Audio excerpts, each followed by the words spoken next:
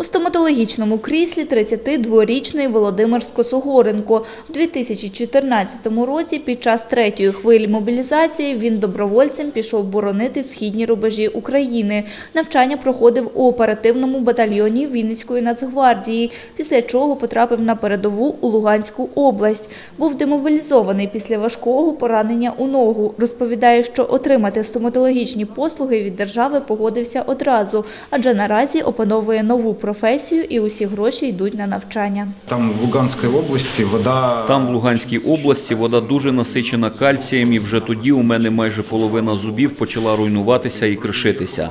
Начебто молодим поїхав туди, а повернувся з посмішкою, як у старого діда. Взагалі стоматологів я дуже боюся, але розумію, що це й моє здоров'я, тому зараз я у стоматологічному центрі. Мені мають замінити кілька передніх зубів, пролікувати кутні, зняти карієс та поставити пломби.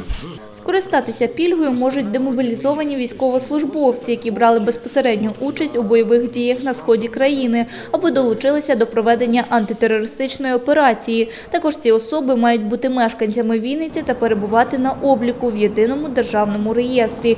Зараз на обліку стоїть по місту Вінниця 98, ну зараз додавалось 100 воїнів, які мають поранення під час е, проведення антитерористичної операції.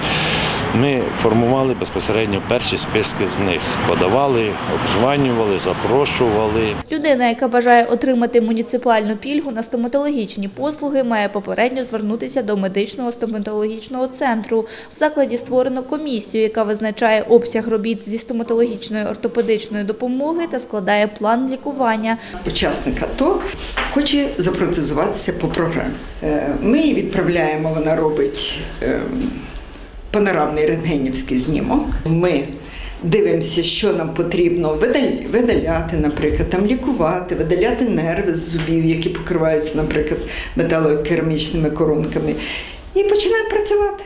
Програма на стоматологічні послуги у Вінниці діє з липня. Надається така пільга один раз на суму, що не перевищує 15 тисяч гривень. Різницю наданих послуг людина має доплатити власним коштом.